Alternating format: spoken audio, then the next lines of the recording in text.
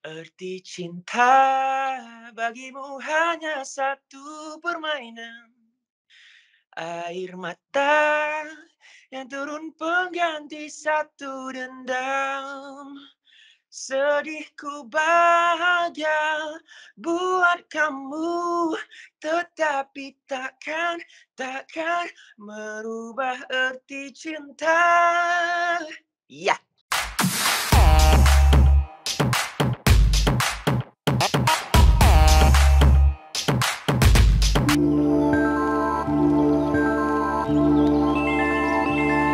Gegar pilihan nombor satu Pantai Timur. Ini carta hits gegar digegarkan oleh Shock. Dengarkan kami dengan audio yang lebih berkualiti. Itulah aplikasi Shock percuma SYOK. Kita nak bersama dengan tetamu undangan. Dia penyanyi dan juga komposer. Uh, kita ada Naim Daniel. Naim. Salam. Okey tapi sebelum tu Naim Syah nak ucapkan tahniah ya sebabnya anda telah tercalon dalam orang kata salah satu kategori uh, acara anugerah uh, bertaraf antara bangsa. Woo! Thank you. Terima kasih, terima kasih. Dan tahniah juga sebab lagu mainan dah trending kan? Yo, kasih. Baik. Uh, Sama-sama. Baik, kita nak sentuh tentang lagu hmm. baru daripada Naim Daniel Mainan. Okey, Naim, uh, betul ke adakah ini uh, lagu dalam sebuah album uh, Phobia?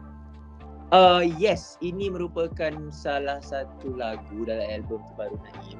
And lagu ni buat pertama kalinya uh, Naim datang dengan single yang bukan daripada hasil ciptaan sendirilah.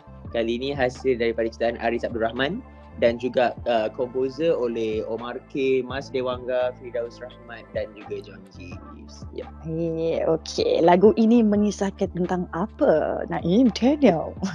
ini sebenarnya dia mengisahkan tentang uh, bagaimana hidup kita kadang-kadang itu kita mengambil uh, sambil lewa tentang penguadan ataupun cerita seseorang dan kita mm-hmm. ianya sebagai satu you know something I'm not really serious about it and yeah benda ni sebenarnya berlaku di dalam kehidupan seharian tak kisah di mana you know sometimes bila kita melakukan sesuatu tapi tidak dihargai kita bagi Mhm. tak pernah dipandang dan itu merupakan satu benda yang not cool to do dekat someone. So lagu ni yang berkisahkan tentang mainan di mana kita nak letakkan uh, the general uh, core-nya adalah dipermainkan ataupun mempermainkan. Ya, itu tadi. Eh, okey. Sepanjang proses rakaman ni untuk lagu mainan ni macam mana? Mungkin ada uh, dari segi uh, cabarannya dari uh, lirik, melodi Mhm. ke atau semuanya okey je?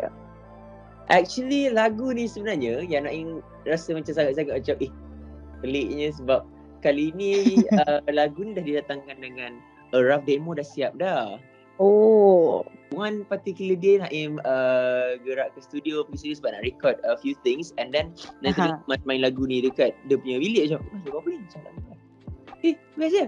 Oh ya lagu ni demo tak tahu kita nak bagi orang sebenarnya tapi tak tahu siapa nak ambil semua kan macam tak apa aku nyanyi lah. Ah, so oh. itulah sebenarnya bila jadi macam tu Uh, Naim pun tak expect macam lagu ni nak nak deliver. And then bila kita dah try few session and kita dah ubah few arrangement apa semua so nampak macam lagu ni Alhamdulillah dia orang kata sebati lah dengan Naim juga. Dan uh, kita nak sentuh teruslah uh, tentang single solo Naim, mainan kan. Kita tahu ini hasil daripada karya Omar K, Firdaus Rahmat, uh, Mas apa Dewa Dewa Mas Dewangga. Susah sebut. Okay. So liriknya di uh, orang kata dikaryakan oleh Aris Abdul Rahman. Yep. Kan. So macam mana Naim Daniel bekerjasama dengan uh, mereka semua ni? uh, to be honest sebenarnya untuk bekerjasama dengan Abang Omar, Mas and also Firdaus mereka memang uh, datang daripada the in-house production of Naimi Label World Peace Entertainment so memang sebenarnya kita orang dah agak sempat Mhm. terms of bekerja sekali so tak ada masalah. Untuk dapat sentuhan daripada Aris Abdul Rahman ni pun actually sebenarnya this is like something new for me. But again Naim percaya Oh. artinya uh, kerja seni itu harus datang daripada diri sendiri. Sebab Naim rasa kita pun harus ada keterbukaan untuk uh, dapat terima input ataupun kita katakan uh, hasil kerja orang lain juga. So that's what I'm trying to do and trying to explore right now. So yeah Naim rasa ini adalah satu pengalaman baru di mana kita cuba datang dengan something yang mungkin sebelum ni Naim akan datang dengan single daripada macam Naim Instant sendiri kan. So ciptaan orang lain ni kita tahu sebenarnya mungkin ada sesuatu yang lebih yang mungkin kita tak nampak ataupun ada nilai estetikanya sendiri yang kita mungkin nampak macam oh bila kita rasa baru kita faham. So now this is what I'm trying to experiencing. Yep. Baik. Music video uh, lagu Mainan Naim. So uh, kita tengok memang lain lah kan. Tengok macam wow uh, untuk music video tu kan. So idea keseluruhan dari Naim sendiri ke atau siapa Naim? Idea datang daripada Naim dan juga uh, diolahkan juga oleh my team from World Peace Entertainment lah which is with my director Sleepy Bear And sebenarnya the reason why we are having this kind of genre macam thriller kat situ kan sebab macam Naim sendiri mm-hmm. I'm a big fan of cerita seram. Walaupun kadang takut. Okay. Aku rasa macam sangat-sangat macam ush terikat lah. Rasa macam betul-betul hook dengan cerita seram. So nak cuba untuk nak implementkan whatever yang minat tu dekat dalam music video. And bila benda tergantung tu tergantung balik tu memang kita tergantung tu balik betul. And also kita ada our stand team untuk nak advice and also nak uh, train untuk nak warm up kan hmm. sana so sepanjang lagu tu almost 3 minit 40 saat ke nak dekat 4 minit tu memang saya ni tergantung for 4 minit tapi nampaknya sikit je kat situ kan sebab kita tak nak macam shot je terlalu stagnant tapi it is a new experience for me sebab Naim pun percaya Naim suka macam bring myself into like macam ke tahap yang lebih lagi to push myself sebab Naim percaya kita pun masih lagi dikurniakan kesihatan dan juga uh, daya yang baik so why not kita try kan sekarang kan uh. yeah. kita uh, dengar-dengar Naim uh, ada satu lagi karya kerjasama dengan orang kata penyanyi hip hop yang orang kata tersohor yes. uh, Joe Filzo dan juga kumpulan uh, Dola. Apa komen Naim uh, yang boleh Naim katakan tentang ini? Naim rasa benda ni Naim pun dah memang banyak kali bercerita kan. So I'm pretty excited. And right now pun kita tengah dalam uh, proses untuk cuba find a suitable date for both parties untuk kita sama nak shoot MV sebab lagu dah siap dah for lagu dengan Jeffrey. Oh. is sini. And insyaAllah I'll be directing uh, this MV my very first uh, solo MV yang I direct lah kan. So nak pun nak try juga benda baru.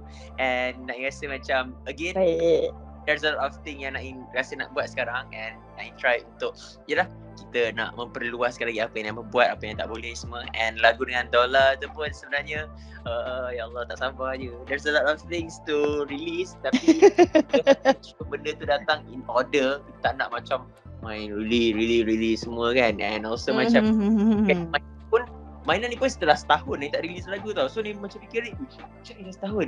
It's because of before this due to uh, Itulah. PO semua kan. So macam lama lah pada purnama bulan 11 and now kita balik dengan mainan pun bulan 11. So uh, almost tahun.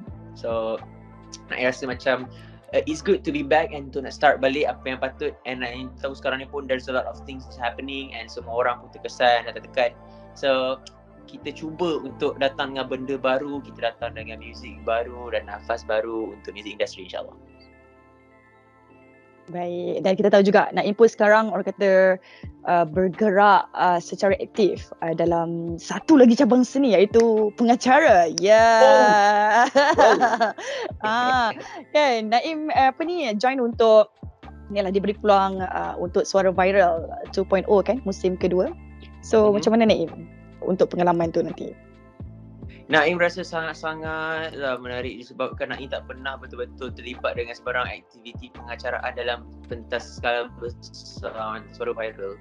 And untuk ada sparring yang sangat-sangat membantu, sangat-sangat memberi sangat-sangat sporting macam apa Daniel Zaini Naim rasa itu adalah satu kurniaan atau rezeki Allah bagi lah sebab Naim tahu kalau dia buat seorang mungkin akan jadi lain.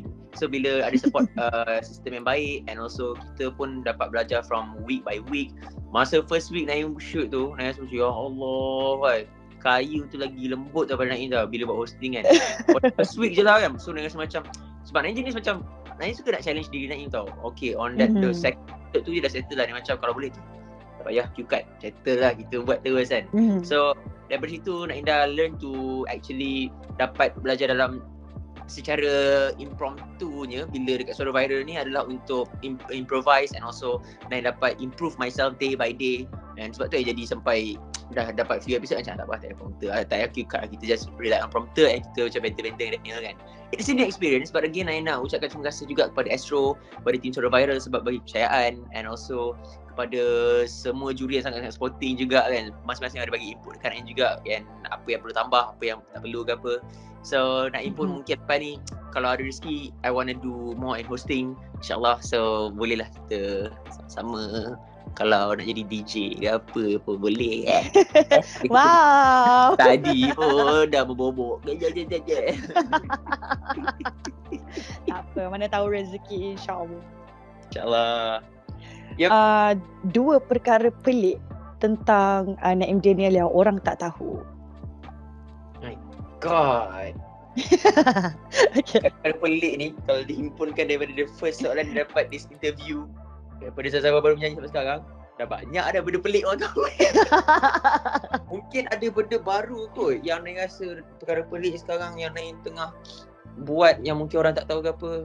Sebab tapi dia tak pelik pun. Not not really that pelik sebab Naim seorang uh, pencinta bunga. Uh, and pelik in bonsai lah. Sebab Naim rasa macam nampak tak? Tada! Oh cantiknya.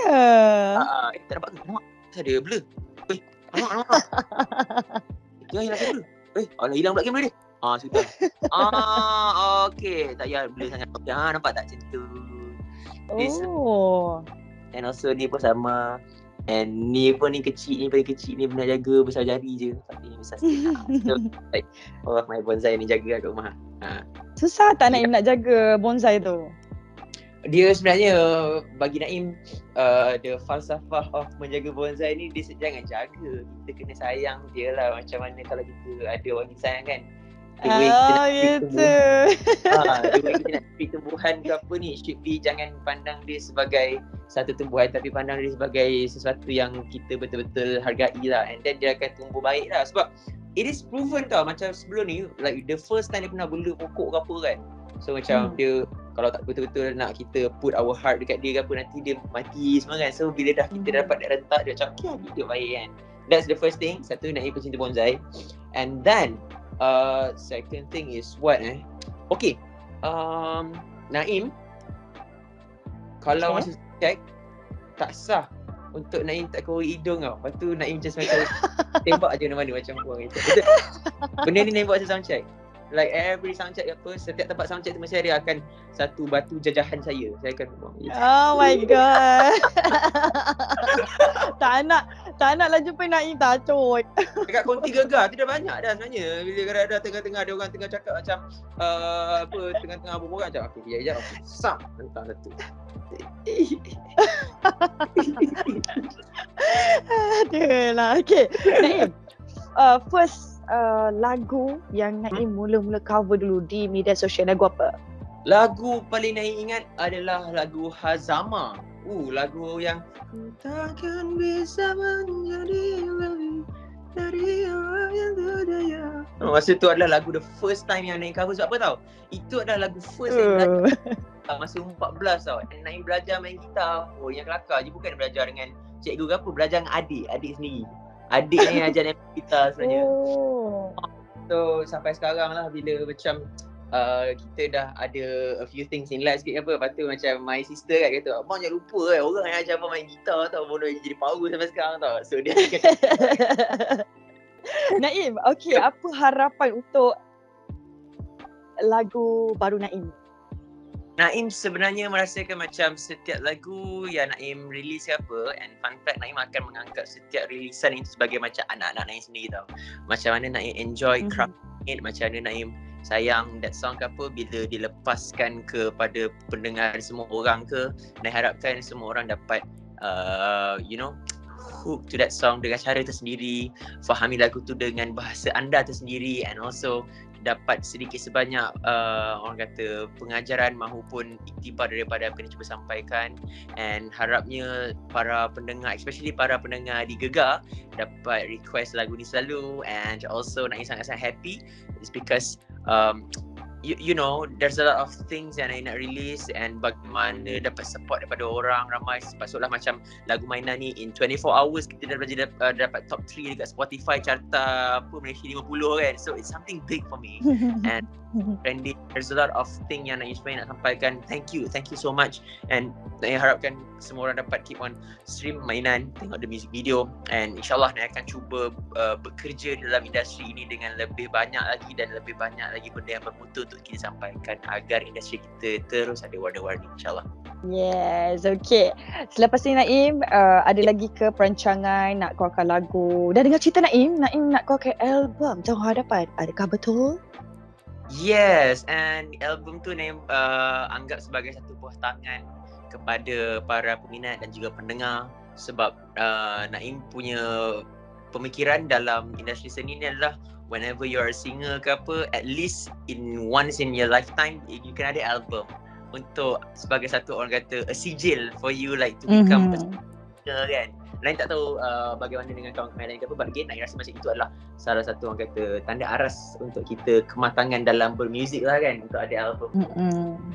yep InsyaAllah kita akan datang banyak merch. And also lagu-lagu dalam album tu pun adalah rilisan terbaru and kita ada few collaboration kat dalam tu. So, uh, Naim sangat-sangat excited sebenarnya tapi even though kita tak tahu apa masa depan akan menjaminkan kat kita but again saya harapkan agar semua orang not just for me but untuk Syah juga kepada semua especially dalam industri seni ni kita dapat uh, sama-sama bekerja dengan baik and sihat insyaAllah untuk sama-sama kita membawa landscape industri kita ke arah yang lebih besar. Yep.